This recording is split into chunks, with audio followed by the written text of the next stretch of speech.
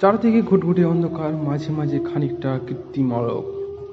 যে প্রকার কৃত্রিম ডাক আর কোনো সারা শব্দ নেই, এমন একটা পরিবেশ অনেক দূর থেকে শোনা গেল। Light camera action. আমি যেখানে শুয়ে আছি সেখানে শোয়ানো আছে আমার মতো আরও তিনজন অভিনেতা। আমি সহ মোট অভিনেতা চারজন। এই হরহর ফিল্টার শুটিং হচ্ছে এফডিসিতে।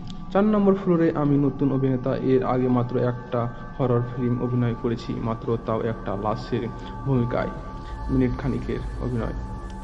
আমি কোনো কাজও পাচ্ছিলাম না মনের মতো, আমি এর আগে অভিনয়ের জন্য বেশ ভালো একটা রোল পেয়েছিলাম, কিন্তু গোলমাল বাঁধে একদম শেষ এগিয়ে, আমি ভুল করে লম্বা একটা শটের একদম শেষ তিন সেকেন্ডের আগে শ্বাস নিয়ে ফেলি। কেপোটের জন্য আমার এই শটটায় বাদ দিয়েছিলেন আগের ছবি পরিচালক? কারণ এর আগে প্রায় দশ মিনিট শট নেওয়া হয়ে গিয়েছিল। এবং তাতে খরচ হয়ে গেছিল প্রায় দুই লাখ টাকার কাছাকাছি। তাই আমাকে একদম একটা বাজে মরার পাঠ করতে দেন করুন না করে। এই একটা পার্টির জন্য আমাকে বর্তমান ছবির পরিচালকের কাছে ধারণা. ধরে টাকা না নেবার শর্তে আমি রাজি হই। এই মরার ভূমিকায়। অভিনয় করতে করতে কোনো কারণে ভুল হলে টাকা দেবে না। আমাকে এই শর্তে আমি এখন শুয়ে আছি। আমি এই নকল শুয়ে এক পাশে একটা কফিনের সাথে হেলান দিয়ে। অনেকবার অনুরোধ করার পর এই রোল আমি পেলে এত অনেক রিস্ক ছিল। কারণ আমার শরীরে একটা ইঞ্জেকশন নিতে হয়েছে আমার সকল বেসিক ঘণ্টা খানিকের জন্য, অলস করে দেওয়ার জন্য। এই ইঞ্জেকশন নেওয়ার পর প্রায় মিনিট বেশি কেটে গেছে। এর মাঝে আমার হার্ট বিট কমে দাঁড়িয়েছে, মোটে তিরিশ খুব ধীরে ধীরে শ্বাস নিচ্ছি, আমি নিচ্ছি না, নিতে বাধ্য হচ্ছি, কারণ আমার মরার মতো করে আছি চারটা ক্যামেরার সামনে। শটটাকে শেষ হলে এই আমাকে আরেকটা ইঞ্জেকশন করে ঠিক করে দেওয়া হবে, এমনটাই বলেছেন ছবির পরিচালক ইসহাক সাহেব আমি প্রথমে ভয় পেয়েছিলাম, কিন্তু শেষ চিন্তা করলাম, অনাথ পরিবারের সন্তান আমি। টাকা পেলে এই মানুষটা কিছুটা শান্তি কেটে যাবে কারণ আমাকে না থাকতে হবে প্রায় সারা মাস। এর চেয়ে কয়েক ঘণ্টার, হাজার দশে টাকা পাওয়া যাবে। তবে এই লাশের ভূমিকায় আমি পড়ে আছি। দেখতে হয়তো বা সত্যিকার লাশের মতোই লাগছে আমাকে। শটটা ছিল এরকম যে কিছু লাশ পড়ে থাকবে এদিক থেকে একটা টেবিল অনেকগুলো অস্ত্র থাকবে, যেমন চাপাতি, ছুরি ইত্যাদি, এর মাঝে এসে লাশগুলো কাটতে শুরু করবে। আমাকে ইসাহাক সাহেব অভিনয় দিয়েছিলেন এই বলে যে এই কসাইয়ের ভূমিকায় তিনি নিজে অভিনয় করবেন। উনি আমাকে কথাটা বলে ওপর বেশ গর্ববোধ করলেও ভেতরের খবর হলো ডামি হলেও কোনো লাশের হাত পা কাটতে কোনো কেউ রাজি হয়নি। ওনার বাজেট এমনই like and কেউ subscribe Horror in channel. হবে।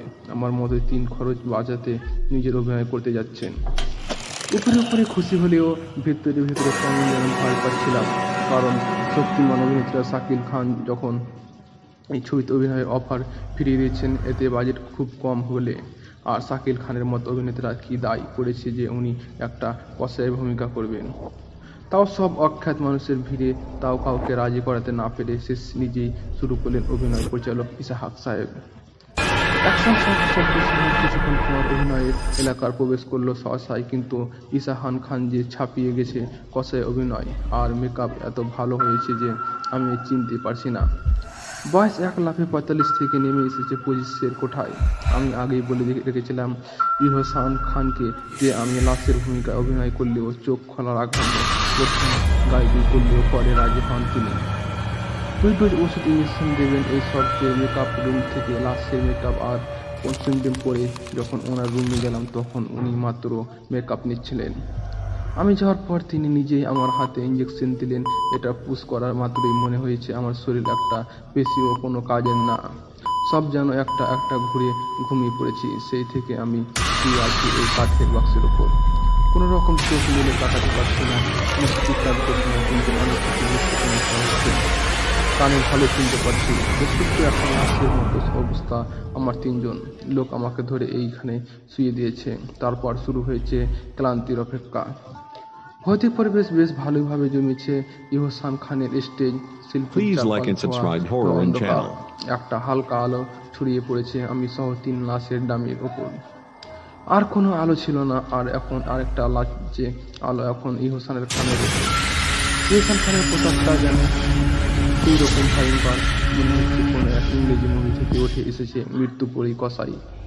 বেশ পরিণত মেকআপ আমিও চিনতে পারছি না ভালো মতো। সেটে এসেই বিপুল অভিনয় শুরু করে দিয়েছিলেন। একটা টেবিলের উপর সাজানো ছিল নানা রকম অস্ত্র ও সরঞ্জাম। সেখান থেকে একটা চাপাতি তুলে নিয়ে উনি খাদ কষাইয়ের মতো ধার পরীক্ষা করলেন। একটা থেকে কাটতে শুরু করলেন। বাহ, কি মৃত্যুর অভিনয়।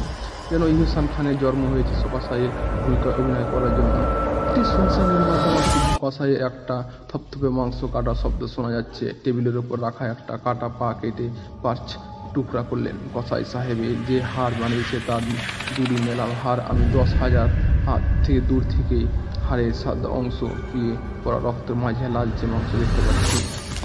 আজ থেকে ইহসান সাহেবকে এই নামে ডাকবে আমি। অন্তত আমি এই অভিনয় করতে পারতাম না। একবার ও কাটা না বলে এভাবে কাটটা না অভিনয় করা সহজ কথা না। উফ, আর পড়লাম না। চোখের পাতা নবম বারের মতো বন্ধ করে আবার খুললাম আমি। এবং সাথে সাথে ভয়ঙ্করভাবে কষাই আমার দিকে তাকালো। এই প্রথম মনে হলো এই চোখ ইহসান খানের চোখ নয়। আমি ইহসান সাহেবকে ভালোভাবে চিনি। ইনি ইহসান খান হতেই পারে না। হয়তো অভিনয় আগে উনি আরেকজন অভিনেত্রী পেয়ে গেছে, কিংবা অন্য কোনো মানুষ চলে এসেছে সেটা। দিকে থপ থপ করে আমার সামনে এসে আমাকে পাঁচ কলা করে নিয়ে গেল।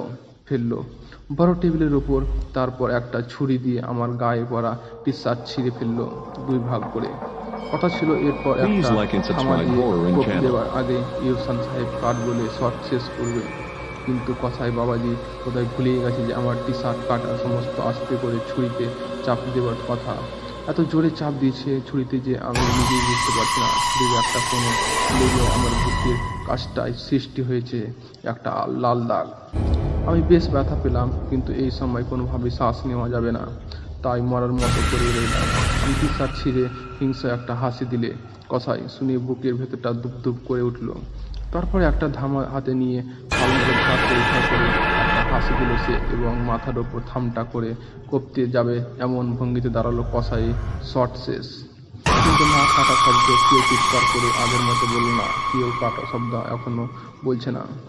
পরিচালনা যদি আমার সামনে কষাই ভূমিকায় হয়, তাহলে সে কেন কাট বলছে না? সে কেন আস্তে আস্তে ধামা নামিয়ে আনছে আমার ডান পায়ের গোড়ালের দিকে? কেউ কাট বলেনি, তাই ক্যামেরা রোলিং করে চলছে। এবং আস্তে আস্তে ধামাটা নেমে আসছে আমার পায়ের দিকে। আমি বুঝতেই পারছি না কোনো একটা দারুণ ভুল হতে চলেছে, কিন্তু আমি মুখ নাড়াতে পারছি না। আমি কিছুই বলে ওঠার আগে ধামাটা এসে কোপ বসালো আমার ডান পায়ে এবং এক পা কোপে আমার পায়ের একটা অংশ কেটে ফেলল কষাই উফ তীব্র যন্ত্রণায় আমার মাথা থেকে পায়ের গোড়ালি পর্যন্ত কেঁপে উঠল। রক্তের ধারায় ভিজে গেল আমার আরেকটা পা। আমি টের পাচ্ছি, গরম তরলের অবিরাম ধারা বের করা হয়ে যাচ্ছে। আমার শরীর আস্তে আস্তে আস্তে আস্তে নিযুক্ত হতে যাচ্ছে আমার দেহ। আমার থেকে আরেকটা তাকিয়ে আমার ধামা তুলে ধরলো কষাই এবার ধামাটা এগিয়ে আসছে আমার গলার দিকে। আমি শেষবার নিঃশ্বাস নিলাম প্রাণ ভরে। ঠান্ডা বাতাসে সেই ছোঁয়া এসে ভরল দিল আমার ছটপটে পরদিন আমার পরিচালনায় এসে খান খান নিজে এসে হয়েছিল ডিজাইন কীভাবে পাঁচ নম্বর ফ্লোরে চার নম্বর হয়েছে চাপাতি আমার প্রেম সহ অনেকগুলো অস্ত্র শস্ত্র সাথে নকল হাত পা রক্ত ইত্যাদি একটা কম বয়সী ছেলে আজ এসেছে। এখানে স্টেজ সাজাবার জন্য সে এক মনে অপেক্ষণ অক্ষে ধরে তাকিয়ে আছে একটা কাটা মাথার দিকে। প্রথম চিনতে পারেনি কিন্তু পরে চিনছে এটা নতুন অভিনেত্রী নিয়াজ মসজিদের মতো সেই বানিয়েছে আবিকাল বানিয়েছে। গত মাস নিয়ে মসজিদের সাথে প্রথম দেখা।